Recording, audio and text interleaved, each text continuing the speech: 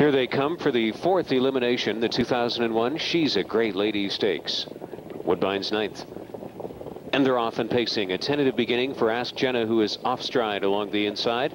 And they're going four and five wide, gunning at the lead. Pleasantville is up widest of all, being sent in search of the front end mission. Life Matters emerges in second. Arts Touch will take third on the inside. And up front, Georgia tucks in from fourth. Ain't seen nothing yet. Parked out in fifth and is driving hard on the outside at Pleasantville. Moving fourth from last into the first turn was Sweetheart Killeen, then roaring a good time. MB Toblerone left in eighth. And out of it early with the gate break was Ask Jenna. The opening quarter in 27 and one fifth. Ain't seen nothing yet, and Ron Waples set sail for the lead and got there midway into the first turn. Pleasantville is second, already up to retake the first over position is Life Matters, charging hard, first over on the way to the half. And on the cover of that one comes a roaring good time, moving up well from second over. It's three more lengths to Arts Touch, sitting in from fifth. Up front, Georgia is sixth.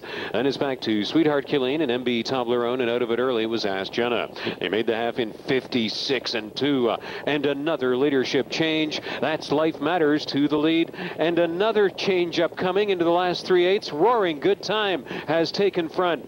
Four and five new leaders in this one. Roaring Good Time takes them on to the final turn. Life Matters is second.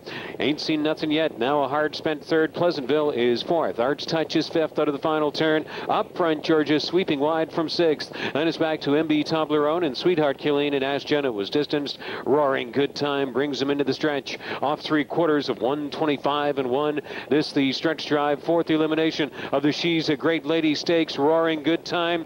Dean Magee has this one roaring away to the insurmountable deep stretch lead of three, and she's driving off. Roaring good time, post nine and all, prevails as heavily favored. There's the time, 153 and one. Track and stakes record over Life Matters and Pleasantville. Roaring good time has topped them all.